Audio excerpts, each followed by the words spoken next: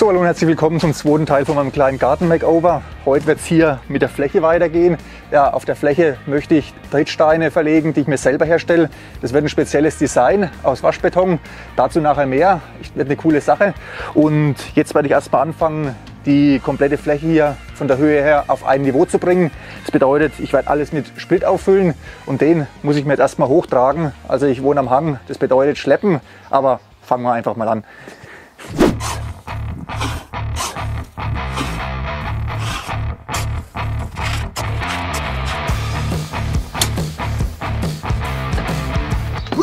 So, Leute, würde ich sagen, legen wir mal los mit dem heutigen Power Workout.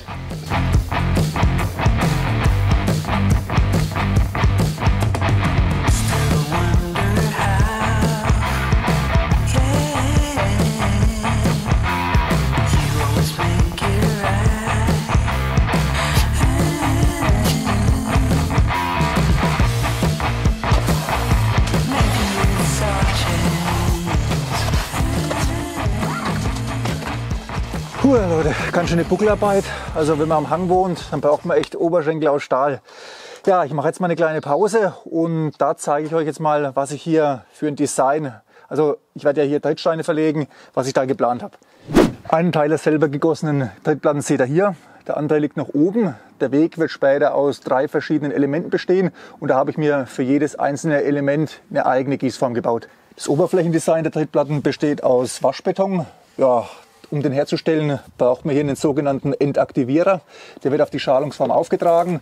Danach wird der, die Platte gegossen und dann nach 24 Stunden kann man die obere Schicht dann auswaschen und dadurch kommt dann die im Beton enthaltene Körnung zum Vorschein. Ja, ich habe hier ähm, Marmorsplit verwendet. Da, bei der Herstellung gibt es natürlich tausend Möglichkeiten, wie man das designen kann, aber die Platte fast komplett weiß, gefällt mir jetzt schon mal ziemlich gut. Auf die Herstellung vom Waschbeton werde ich jetzt hier nicht mehr groß eingehen. Da habe ich kürzlich erst ein ausführliches Video dazu gemacht. Das werde ich euch mal da oben verlinken und wenn es euch interessiert, dann könnt ihr euch das ja mal anschauen. Ja, die Zusatzmittel, die man zur Herstellung braucht, wie jetzt zum Beispiel den Entaktivierer, den erhaltet ihr im Online-Shop von der Firma Hebau unter Wow Your Concrete, werde ich euch mal unten in der Videobeschreibung verlinken und dann könnt ihr euch die Sachen besorgen und euren eigenen Waschbeton herstellen. Wie gesagt, bei den Designs, da sind keine Grenzen gesetzt, da müsst ihr nur etwas kreativ sein. Waschbeton ist natürlich auch besonders gut für Trittplatten geeignet, weil die Oberfläche letztendlich ziemlich rau ist und dann hat man da im Winter oder bei Regen keine Probleme mit Glätte. Dann gehe ich jetzt erstmal noch ein paar Eimer schleppen und dann kommt ein Spezialgerät zum Einsatz. So Leute, letzte Arbeit für heute. Wie ihr sehen könnt, ist die Sonne fast weg. Das bedeutet, ich kann meinen Laser jetzt mal hier noch benutzen. Den Laser kann man nicht verwenden, wenn die Sonneneinstrahlung zu hoch ist, weil dann sieht man die Striche hier nicht. Mit dem Laser kann ich mir 360 Grad überall das gleiche Niveau anzeigen lassen. Seht ihr hier. Also es wird hier überall übertragen und daran kann ich jetzt meine Fläche dann ausrichten.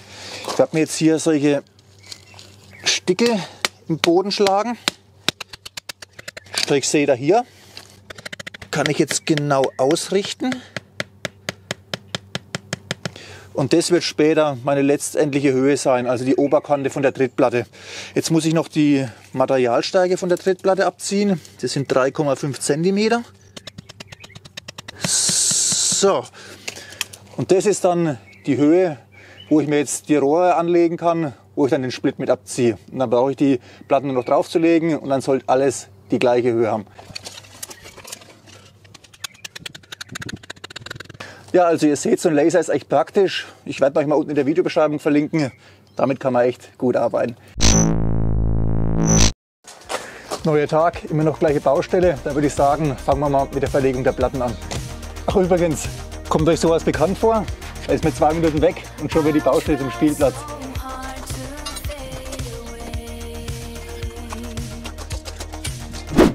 Also ich muss sagen, ich habe sowas ja noch nie selber gemacht, aber schon mal zugeschaut und von daher bin ich gespannt, ob ich das hinbekomme.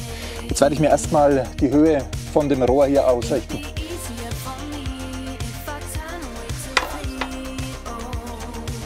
Ja, das schaut schon mal ganz gut aus.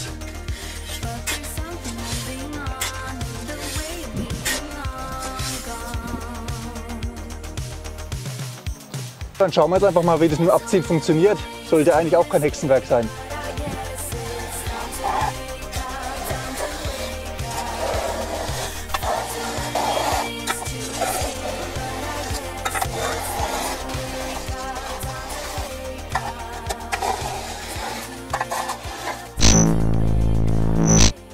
So Leute, mal ein kurzes Zwischenfazit von mir. Also es hat bisher alles echt reibungslos funktioniert.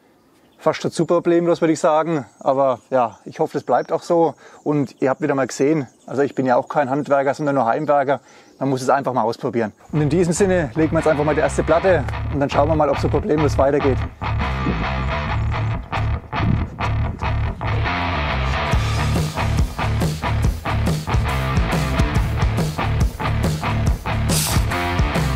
So, jetzt noch ein bisschen ausrichten, dann liegt die erste Platte schon.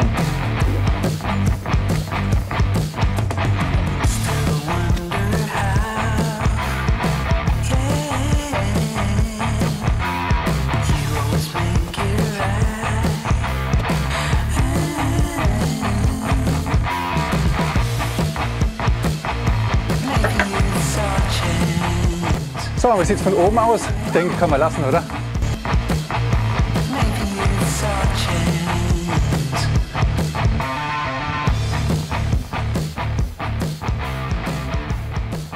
Ja, die Platten sind fertig verlegt. Das Ergebnis seht ihr hier. Also ich bin echt top zufrieden. Ist genauso geworden, wie ich mir das vorgestellt habe.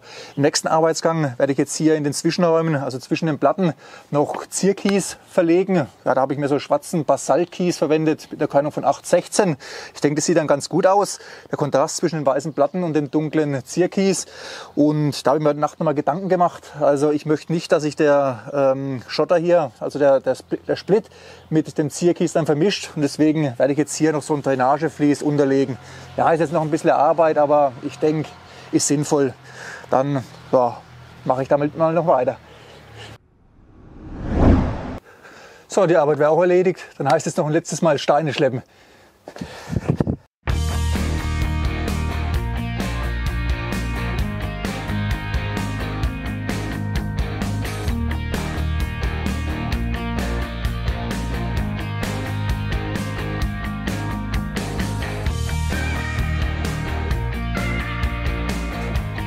Puh, ganz schön die Plackerei.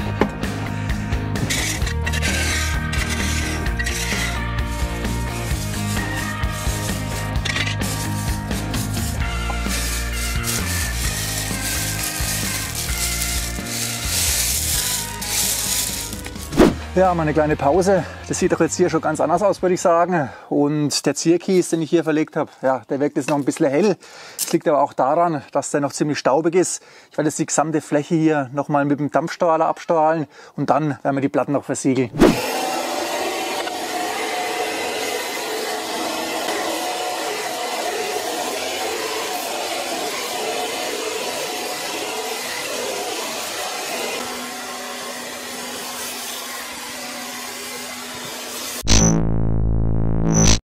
Da Betonoberflächen bekanntlich ziemlich schmutzempfindlich sind, werde ich jetzt auf die Oberfläche noch eine Imprägnierung auftragen. Ja, ich verwende hier das Produkt Colortec Max. Den bekommt ihr ebenfalls im Online-Shop von der Firma Hebau. Ja, da gibt es verschiedene Produkte. Das Produkt hat jetzt den Vorteil, dass äh, die Optik komplett erhalten bleibt. Es gibt auch noch Produkte, wo eine Farbintensivierung dann ähm, erfolgt. Aber ich habe mich jetzt dafür entschieden. Ja, und das trage ich jetzt mal auf die Oberfläche auf.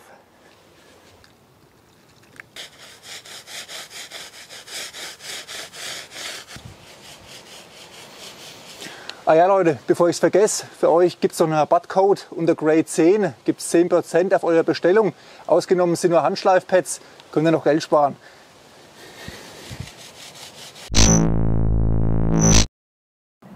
So, wieder eine Arbeit abgeschlossen. Als nächstes geht es jetzt mit dem Pflanzbeet hier weiter. Ja, das habe ich mir ja mit den Rabatten angelegt und da werden wir jetzt ein paar Pflanzen einpflanzen. Bei der Pflanzenauswahl habe ich meine Frau entscheiden lassen. Ja, die wollte hier irgendwas Buntes, hat gemeint, Hortensien wären ganz schön. Was habe ich dann besorgt? Hortensien. Die pflanzen wir jetzt ein.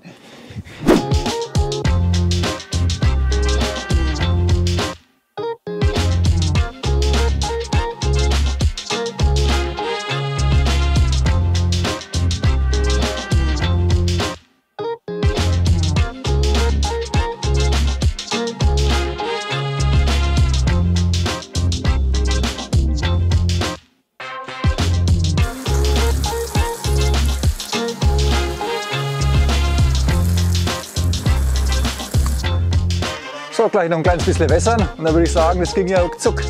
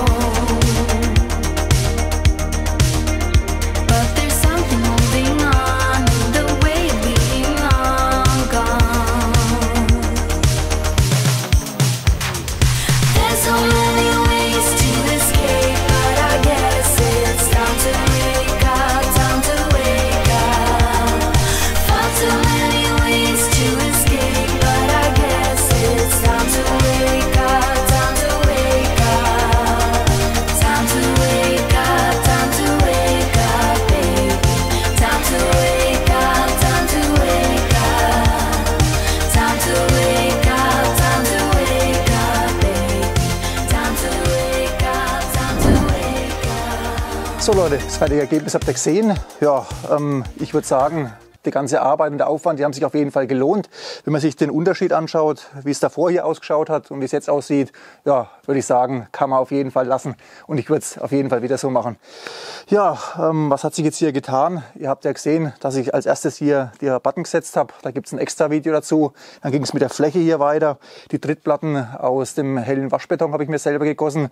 Und ja, die Trittplatten, das war zwar ein ziemlich großer Aufwand, aber wenn man solche speziellen Platten mit diesem Design und ja, der Oberfläche haben will, dann kann man sowas halt nicht kaufen. Dann muss man sich selber machen, wenn man Wert auf individuelle Gestaltung legt, sage ich mal.